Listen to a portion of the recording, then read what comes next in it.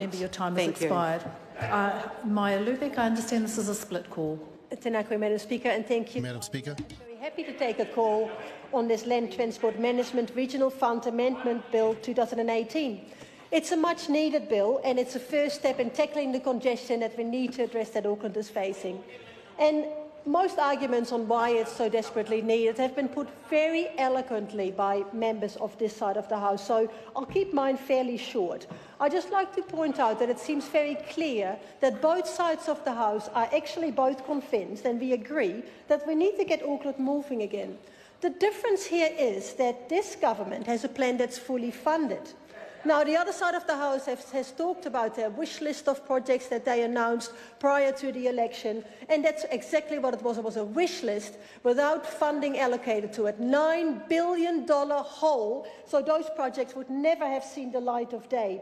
So ours are fully funded. And basically what, what is going to happen is that we are going to get this bill in place, get the money in place, and finally put our money where our mouth is. Yes, and I will talk about Penlink. Mr Mitchell and I have been having a bit of a um, social media banter on Penlink. Um, after he spoke in the House, for the first time, I believe, since his maiden speech, he spoke about this local project called Penlink.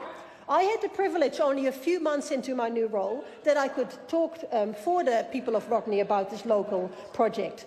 And what confuses me is that Mr Mitchell is voting against this bill because it means that Penlink would never be built. It would basically mean that Penlink would go back to the promise it was back in 2006 when the national government said we will promise to build Penlink within 10 years of becoming government, 2006, but they never did.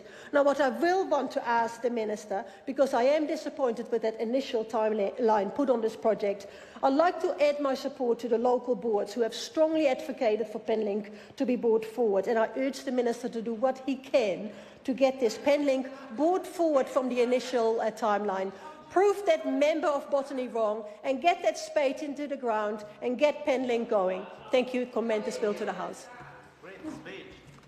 Well, thank you very much. Oh, Mr. Madam, Madam Speaker. I call Simeon Brown. Well, thank, thank you very much, Madam Speaker, for the opportunity to speak on this piece of legislation. And it's a sad day.